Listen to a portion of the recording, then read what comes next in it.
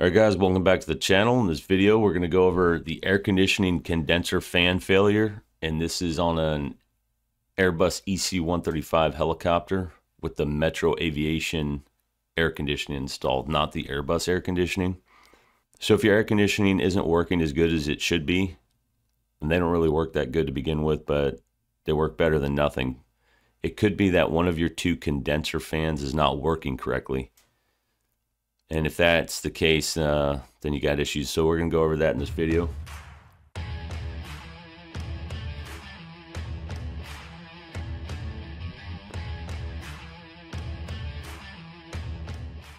So underneath the condenser assembly, which is on the left-hand side of the helicopter, right behind the aft firewall of the left engine, there's a wire bundle under there that controls the condenser fan. There's a better look at it.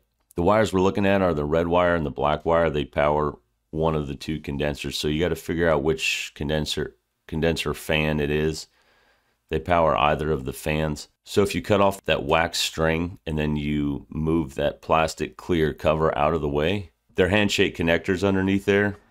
And I found in the past that either one of the wires was broken or it was just corroded, so there wasn't getting enough current through it to make the make the fan run. So to check your fans, what you need to do is you need to get ground power, and that simulates both generators are operating. You power on the helicopter, electrical power, then you turn on the air conditioner switch, and after about 20 seconds to three minutes, it's a time delay.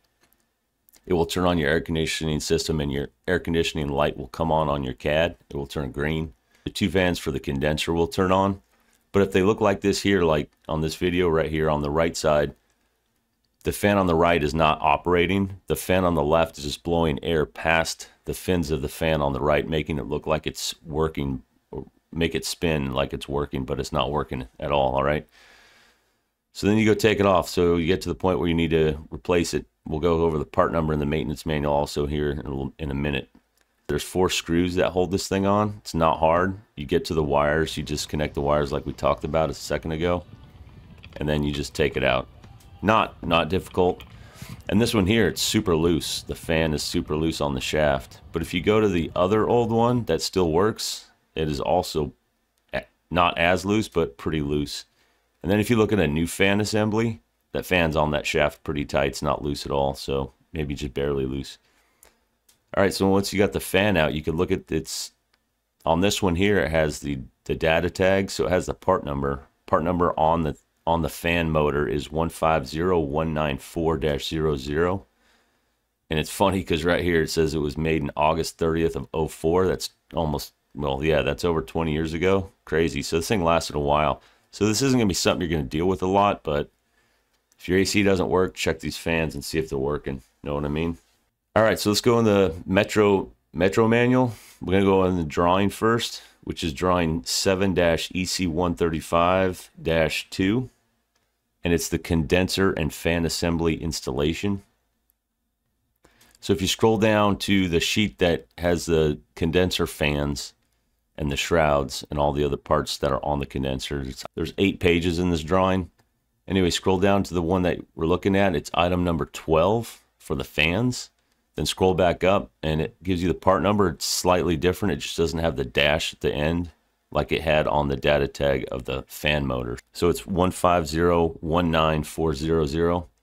Maybe that'll be an issue if you're ordering the part, depending on how your ordering system is. If you don't put in a dash or you do put in the dash, it may not come up either way.